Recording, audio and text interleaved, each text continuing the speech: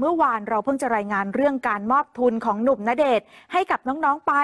คืนนี้เนี่ยเรามาดูอีกมุมของเขา เพราะนี่นับเป็นปีที่ 5 แล้วสำหรับณเดชน์คุกิมิยะที่มีความตั้งใจร่วมกับแม่แก้ว ไปเข้าร่วมทำกิจกรรมวันแม่ค่ะ พร้อมกับมอบทุนการศึกษาให้กับน้องๆด้วย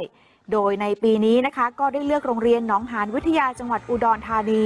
งานนี้ทำเอาโรงเรียนแทบแตกเลยนะคะ เพราะว่าในช่วงบรรยากาศร้องเต้นบนเวทีเนี่ยพระเอกดัง สร้างความบันเทิงได้อย่างเป็นกันเองสุดๆเลยนะคะ นี่เต้นกับน้องนะคะ เต้นแบบหือกระหนุ่งกระหนิงกอดคอกันด้วยนะ โชว์ลีลาการเป็นหางเครื่องออกสเต็ปในเพลง เรียกเสียงกรี๊ดได้อย่างถล่มทลายเลยนะจ๊ะ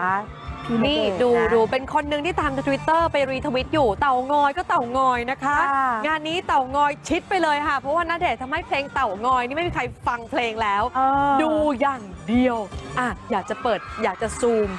นี่ดูลีนี่ค่ะลาเห็นไหมนะ อย่างที่บอกอันนี้แหละเต่างอย ค่ะ คลิปนี้ว่อนมากนะคะ เป็นหนึ่งในคนที่ไปรีทวิตตอนนี้เนี่ยพูดเลยว่าถ้าให้ไปดูใหม่นี่ว่าไม่ใช่แค่หลักหมื่นละมั้งอืม ป่านนี้หลายพุ่งแสนไปเออน่าจะเป็นหลักแสนแล้วนะคะเขาลำวงอะไรได้หมดเลยนะเดชน์เนี่ย ไม่แฟร์เนาะค่ะ คนแบบเนี้ยเต้นอะไรก็ได้อะค่ะทำไมเราเต้นไม่ได้อะดูคะ ดูดูท่านี้นะอืมท่าสุดฮิตเลยนะคะเนี่ย โอ้ยตายตายตายณเดชน์คะตายตายดูตายท่อนขาล่างของณเดชน์สิคะขาค่ะ ขาของเขาเนี่ยสวิงมากเลยนะ นี่แหละ ณเดชน์อาจจะบอกว่านี่แค่ warm warm ค่ะ